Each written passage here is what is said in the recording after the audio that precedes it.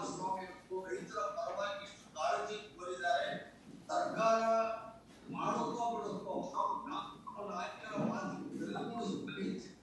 ನನ್ನ ಕ್ಷೇತ್ರದಲ್ಲಿ ಕಲ್ಲಂಗಡಿ ಹಣ್ಣು, ಎಲೆ ಕೋಕು ಬದನೆಕಾಯಿ ಟೊಮೆಟೊ ಇವುಗಳನ್ನೆಲ್ಲ ರೈತರು, ಬಡ ರೈತರ ಹೊರಗಳಿಗೆ ದೊಡ್ಡಾಸ್ತಿ ಮಾಡಿ ಅವ್ರು ಕೇಳಿದ ಬೆಲೆ ಕೊಟ್ಟು ಕೊಂಡುಕೊಂಡು ನಾವು ಅದನ್ನೆಲ್ಲ ಉಚಿತವಾಗಿ ಪಟ್ಟಣದ ಬಡವರಿಗೆ ಹಂಚುವ ಕೆಲಸ ಮಾಡಿರ್ತಾರೆ ಇದಿಷ್ಟು ನಾವು ಮಾಡ್ಕೊಂಡು ಬಂದಿರೋ ಕೆಲಸ.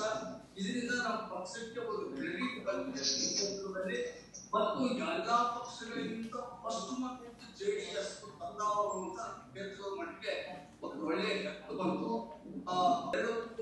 ಪೂರಕವಾಗಿ ನಾನು ಕೂಡ ನಮ್ಮ ಪಕ್ಷ ಮತ್ತು ನಮ್ಮ ವೈಯಕ್ತಿಕವಾದ ನೆಲೆಗಟ್ಟಿನಲ್ಲಿ ಸುಮಾರು ಒಂದು ಗ್ರಾಮ ಪಂಚಾಯತಿಗೆ ಗರಿಷ್ಠ ಇಪ್ಪತ್ತೈದು ಬಡ ಕುಟುಂಬ ಅಂತ ಲೆಕ್ಕ ಹಾಕೊಂಡು. ಐವತ್ತು ನಮ್ಮ ಗ್ರಾಮ ಪಂಚಾಯತಿ ಬರ್ತಕ್ಕಂಥ ಕ್ಷೇತ್ರದಲ್ಲಿ plus Kadur municipality Hiriyur municipality.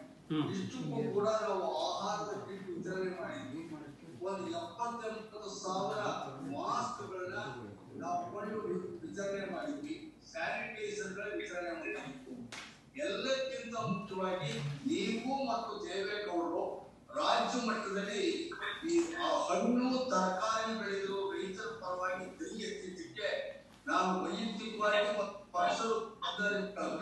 ಸಲ್ಲಿಸಬಹುದು.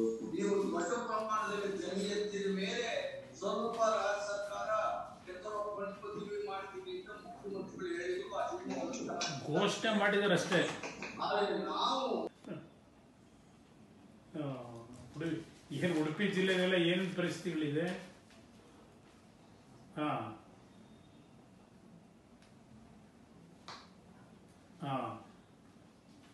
ಹಾ. ಕೆಲಸ ಮಾಡ್ತಿದ್ದಾರೆ. ಹಾ.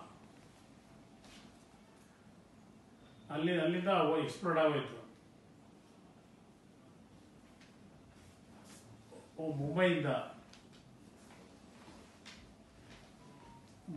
ಹಾ. ಹ್ಮ್.